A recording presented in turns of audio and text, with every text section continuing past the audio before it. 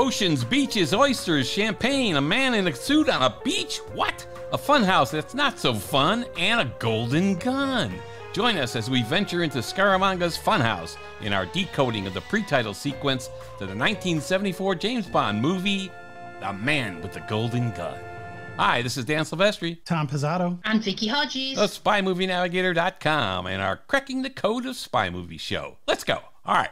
So, bam. We're into the gun barrel sequence featuring Roger Moore in his second outing as Bond, 1974.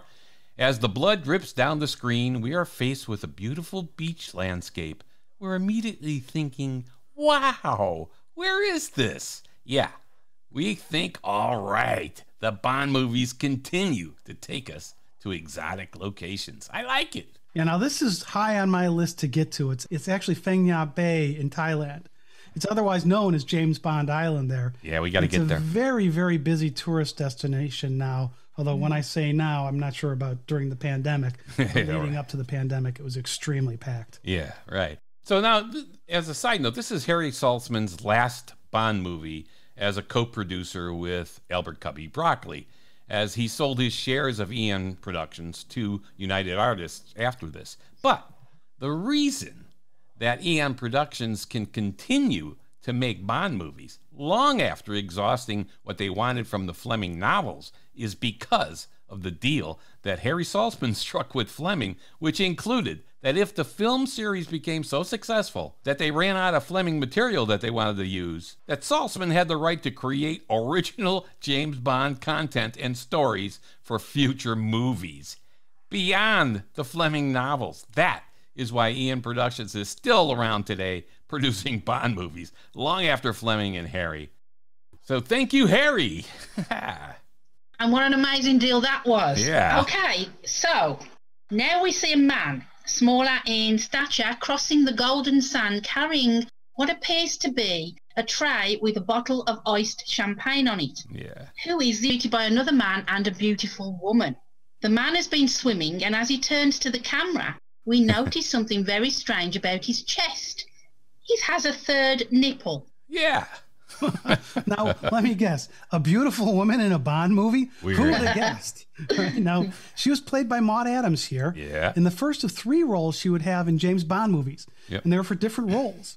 Most of the recurring actors had roles like M or Moneypenny at Q, Yeah. where they kept coming back with the same role. Other than like a Shane Rimmer type. She's kind of almost has that, except she had a lead. Yeah. Anyway, the third nipple is a real condition and it's sometimes known as the accessory or supernumerary nipple, which affects 1 to 5% of the population. It is officially called polythelia. Yeah, I was wondering what that might be called, Tom. You didn't know that? Come on. I was just like, okay, that's good to know. By the way, I love the bird sounds that you hear throughout this whole opening scene. It's just perfect sound effects for this paradise that's in front of us. I love it. Yes. And speaking of sounds, you know what I like about this scene is it's the landscape, the Ah. ocean, the sun, the sand. May seem warm and cozy, but the tone of the scene is far from it. It's highlighted by the foreboding soundtrack, use of minor keys. Something's going to happen, or it's not what it seems. Yeah, I mean, traditionally, really, in musical scores in the old days, yeah, the old days, whenever that was 10 years, 20 years, 30 years ago, I don't know. Major keys often represented lighter, happier scenes, while minor keys were often used for more somber, sadder scenes. But of course, it was, this wasn't always the case. There are happy tunes in minor keys and sadder ones in major keys, but lots of funeral dirges, for instance, are minor keys like Chopin's Funeral March and so on. So in 1974, we're thinking music in a minor key, something not really celebratory is going to be happening. Well, it depends on whose side you're on. Well, that's true too. anyway, we see this suited figure approaching across the beach, looking completely out of place for the climate. The smaller guy beckons to him. We now can establish that the smaller guy is some kind of a, I don't know, servant, waiter type person for this guy that we will come to know as Scaramanga. Yes, especially when Scaramanga yells, Nick Nack, Tabasco, apparently for his oysters. And Nick Nack says, Right away, Monsieur Scaramanga. Hey, I did that pretty well. Like, That's pretty good there, Dan. yeah. The suited man is another actor who's now had different roles in James Bond movies. First, he's walking on this beach, and it really, he had this hat on it. It really made him look out of place for being on the beach. Definitely. Now, we never get his name in the movie, but he's credited as being the character Rodney. And this is an American character actor, Mark Lawrence, who can also be seen in the 1971 film Diamonds Are Forever uh-huh. as a Las Vegas hood. Yeah, yeah, yeah. And he's got Yeah, a great, wasn't he? Great Oh, sorry. I was going to say, wasn't he the guy um, who didn't know there was a pool down when he threw Plenty O'Toole off the balcony? Yeah, Oh, yeah. Oh, yeah, yeah, yeah, yeah, yeah. It's the same guy. He throws her off the balcony. I didn't know there was a pool down there. Yeah, that's a great. That's, that's a great. It's a great scene. line. Yeah. All right, so let's get back to the Golden Gun here. Now, this guy is shown into an impressive property. This place is just gorgeous. Yeah. And it's got all these African and Asian influences. Scaramanga is obviously well traveled and a very wealthy man. Now, Rodney is given an envelope containing wads of cash, but why? Now, it's also interesting, they were US dollars. Yeah. that's So they're true. in Thailand, but the envelope was US dollars. Yeah, I mean, yeah. what's going on here? Okay, so I think this pre-title sequence so far has done exactly what it's supposed to do. It makes us wonder what is happening, where it is happening, and who exactly are these unfamiliar faces that we have seen so far. Great job so far, I think. That's great because we don't know any of these people. It's good. Yeah, and this suited man is advised to head into an adjoining room and wait for Scaramanga Yeah. to join him. Now, this is another impressive room. Yeah. Some sort of home gym, leisure room. uh, Just another great set. Yeah, I mean, it's not Goldfinger's lair, but it's a pretty cool set and a pretty cool uh, lair. Anyway, Peter Murton did the production design for this stuff. So, yeah, the whole design has a Ken Adam feel to it with the round rooms and the light fixture. It's cool, it's really cool. Yeah, yeah, yeah, And I like how Rodney looks at the lighted cases of bugs on the wall as he enters the room where he's supposed to be joined by Scaramanga. Kind of a reflective stare, like, hmm, will I be part of Scaramanga's collection? You know, though we don't know. Again, we don't know what's going on here, but that little case of a collection of these bugs, whatever they are in there, and you see him looking at it. I think he looks at it twice. You think, okay, he's thinking something here. I love how there's these collection of bugs in different spy movies. Yeah, yeah. You've got here in this one, you've got in On Her Majesty's Secret Service when James Bond goes to M's house and he talks about lepidoptery or whatever that word Yeah, was. that word. Yeah, that easy for me to say. And then we saw it in Funeral in Berlin where we had the picture of the bugs on the wall in Ross's office. Yeah. Ah, but Tom, it's a spy movie. There's always bugs. They're generally behind the pictures or on the bottom of the phone. oh, oh, yeah, you're not talking about those Just bugs, a are you? different definition of a bug. That's good. so in, in the same scene, I, and I, I you got to look at this. I love how Rodney, the guy who's going to meet Scaramanga, is standing in front of a machine that says J.D. Norton and Sons Super Shot game. It's a game machine, and just just as he's taking out his gun from the case that he's been carrying, so I thought that was a nice touch. Mm-hmm. And he spins and aims his gun down at the targets there. So little things like that really make the scene it pop. That's cool. Yeah. And again, this room just looks fantastic. There's two parts to it. The top level where Rodney's standing and aiming at the targets has a bar in it. There are steps down to a gymnasium part of the room with a padded mat, pommel horse, climbing rope, exercise bench, and more mats. It's interesting, but a really clever uh, design. Okay, so Scaramanga, now wearing a tracksuit, proceeds into the gymnasium only to be held at gunpoint by the suited man. He goes to shoot, and then suddenly the lights in the room turn red, and Scaramanga dives to the floor, showing his athletic abilities. and his quick reflexes. I mean, not just the, the athletic abilities, but he's got really quick reflexes here. And we also see Nick Nack, that servant, peering through a small window, watching what was happening. What's going on there? Yeah, actually, Scaramanga diving out of the way. I thought he was actually a little slow, and that the bullet should have hit him. That's why I, I thought it was like the bullet, bam, boom. You hear the sound, then he's diving. It's like okay, I don't. I thought he was slow. Anyway, all right. I digress. Not much though. So Scaramanga tries to open the weapons cabinet, but it's locked. Nick Nack's voice is heard over the intercom system, and his eyes again appear from the panel in the wall, peering in. We now know that the servant is in control of some sort of game. Yeah. Not exactly sure what yet. Uh-huh. In fact, we see Nick Nack talking to Scaramanga and Rodney from a microphone in some sort of a control room. Mhm. He then flips some switches and dials, and he's obviously in control here. And Rodney turns towards a psychedelic screen on the wall, only to see Scaramanga's face appear. Yeah, that screen kind of felt like something out of a Hitchcock movie, like Vertigo or something. The spinning lines with someone in the middle of it and stuff. It was. Yeah, it's actually bizarre. very similar to the cover art the for for that movie, Yeah, yeah, yeah. Vertigo. Okay. Yeah. So now Rodney instinctively shoots, but then he realizes it's all a trick because he shoots and he breaks a mirror. and he's distorted by the lights, false doorways, mm. uneven flooring. I mean, remember this? We're calling this the funhouse. He's then put through his paces by various tricks and traps involving various animatronics, Yeah. and he sneers at them, clearly annoyed at this deadly game. Yeah, Disney would be proud. What? Disney would be proud. yeah. Uh, me, I'm wondering two things so far here. Clearly, the pistol that Rodney has has a silencer on it, right? I mean, it appears to be a Browning high power, but we hear a loud shot ring each time he fires. And I'm wondering also, how many shots has this guy fired already? I'm thinking it's like five shots already that he's fired and loudly. so those are what I'm wondering so far. What's the deal with that? Wait, wait a minute, Dan. what we call a silencer, though, is really called a suppressor. Okay. And they use it in movies, and the way they do is what we call movie magic. Because they don't do in real life what they show you in movies. Okay. In movies, they have a silencer on a gun, you can barely hear the thing. Yeah. I mean, yeah, they, they really do make the bang less loud, but it's not even close to how quiet the movies show these things. Okay. All right. So this felt believable to me, and it's still a very fun scene. All right. So maybe this is pretty authentic then that we hear the sound. That's good. yeah. Yes, absolutely. I think right. that's great. That's good. That's fine. Because a lot of times remind- it- Bond will be firing a weapon and you can't hear it. It's like, you know. Yeah.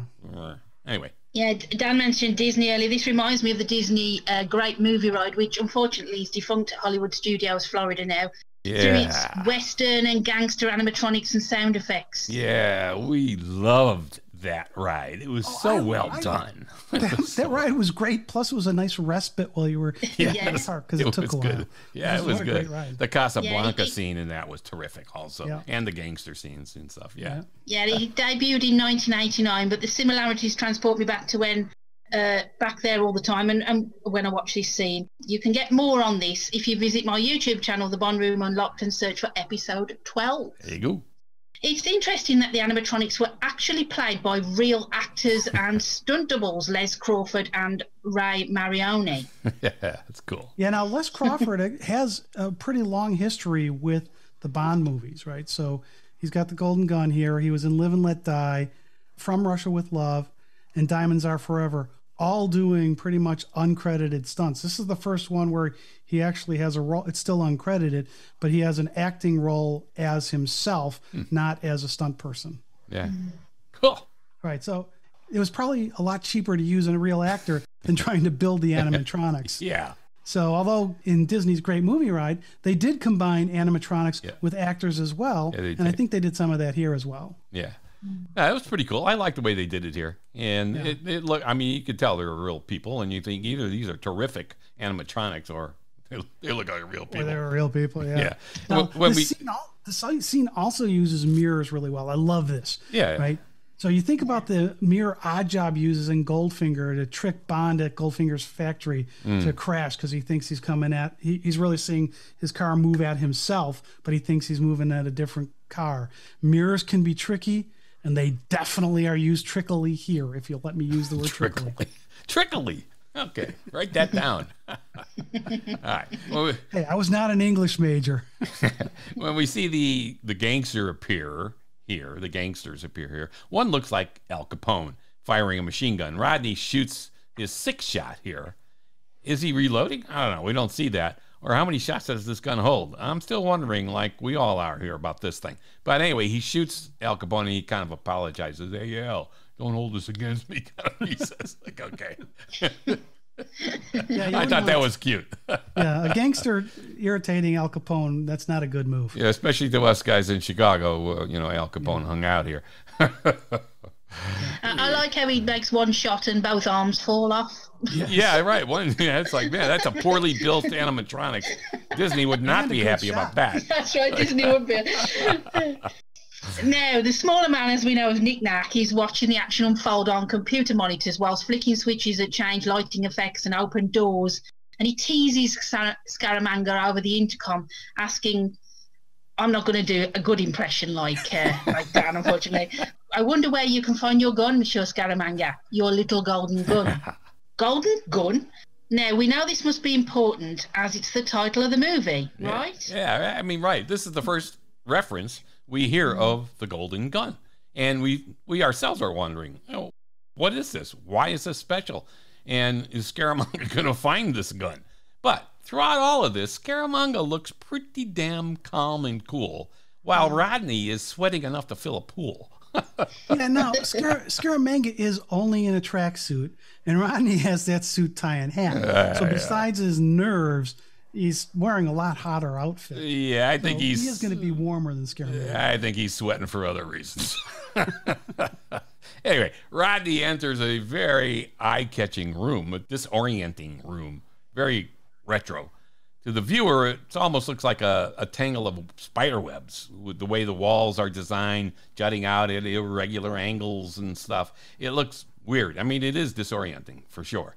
And it's a great design and very much is inspired by the German Expressionism movie, which was a silent movie, The Cabinet of Dr. Caligari. We had to see that movie in high school. That is still a scary movie. So this was, uh, I think, a, nice little tie-in there. Okay, so in the center of this room is a golden gun. Yeah, and is seen in what looks like the mouth of a crow, holding the barrel in its mouth with this kind of sparkly golden egg around it. And I never noticed the bird before. I've seen this scene a million times, and I just see the gun there. Now I'm looking and I think, hey, it's a bird. It's, uh, oh, A blackbird, very ominous. Yeah. And the gold from the gun glints off it, setting the gun apart. It's Yeah. it's a great look, and it's again very Hitchcock. it's a great, Yeah, and the- yeah, it's a and the great notion of- shot. And the notion of a gun like this predates that of the 1965 Fleming novel and the movie.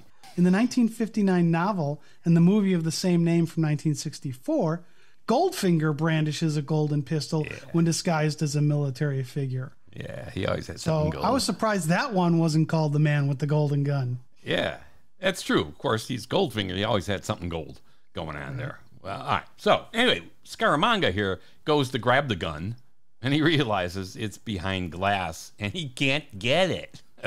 so, this is a very sophisticated game of hunter and hunted.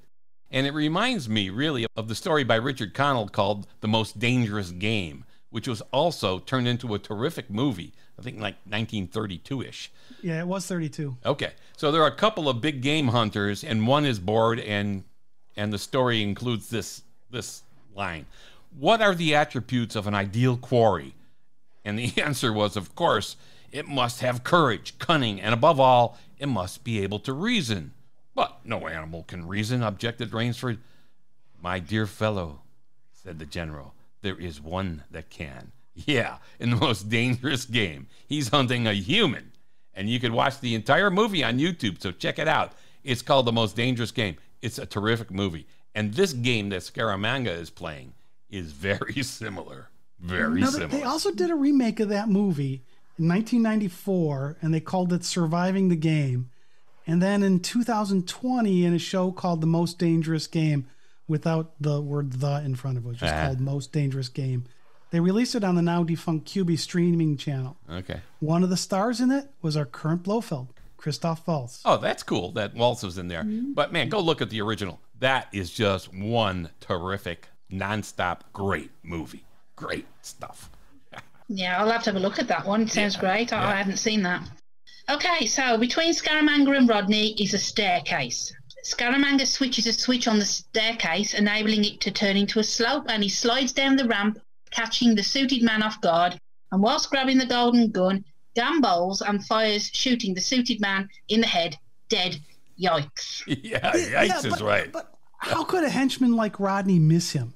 as, as Scaramanga is coming down, he's almost upright, sliding down this thing. Yeah. He's sliding down slowly because he's got his It's a long on. staircase. And so, uh, how do how do these Bond henchmen miss something that's that wide open in front of them?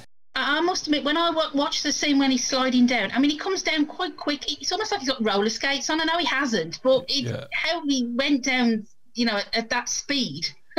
No, In see, I whatever he's got I on his feet, felt which I- slow to me. yeah, yeah, and then you got a gun aiming at him. Yeah, you got to hit that. You got to hit that. I mean, duck, duck a little bit, Scaramanga. You were just standing there. right. Uh, One side of the room suddenly lights up, and we see an animatronic of James Bond in a firing pose. What? How does Scaramanga know James Bond? uh, who doesn't know James Bond? I mean, really, this this is crazy. Well, you know, there's the 007 bullet in this movie too. So you yeah, know, we're going to talk about that in a about second because we're going to talk about that in a second. No. We see the smaller man, eh, Nick Nack, enter congratulating Scaramanga as he retrieves the money from Rodney's body, lying in front of the James Bond figure. He sets these confrontations up regularly for Scaramanga's enjoyment. Huh. A training exercise of some sort? Or is Nick Nack trying to bump Scaramanga off? The most dangerous game. So then Scaramanga, he hands his golden gun to Nick Nack and he takes Rodney's gun from him Yeah. suddenly and he turns and fires at the Bond statue and blows off his fingers. And we see Roger Moore's face. Is that really Roger Moore or is that just an animatronic? I mean, does Scaramanga see Bond as the ultimate test? Uh, Cue the music. Now, wait. This is my last point. I'm wondering what this Bond wax figure or ceramic statue or whatever this is, why it is in there in Scaramanga's funhouse. When, They when had to get Bond into the pre-title somehow. Well, yeah. When we see the whole movie, after all, we learned that Scaramanga wasn't really actually targeting 007. Remember, the 007 bullet was sent to MI6 by Andrea Anders, unknown to Scaramanga. So, wh- why is this this statue of Bond there? It makes for a great close for the pre-title sequence, I admit that. And Bond does get into the pre-title sequence, which is nice. But now we're thinking, why is Bond a target here? Because it makes no sense. It absolutely a makes no Maybe- sense to me. Maybe Ms. Anders was responsible for the James Bond thing, and Scaramanga doesn't know it's James Bond, but she might have wanted that in if she's the one who sent the 007 bullet. Okay. You don't know, you don't All know who that's a that stretch. there. That's a stretch. Okay. All right. We'll give the writers some leeway, I guess, on that one. I don't know. But, uh, all right. Here's a great piece of writing. Speaking of writing, how many shots did Rodney take? Well, we were wondering that all along. Rodney took a bunch of shots, and then Scaramanga took four shots with Rodney's gun. So that was a total of 12 shots, including Scaramanga's. So, what kind of gun did he have? Because I'm wondering all along, is this guy reloading? This is a lot of shots.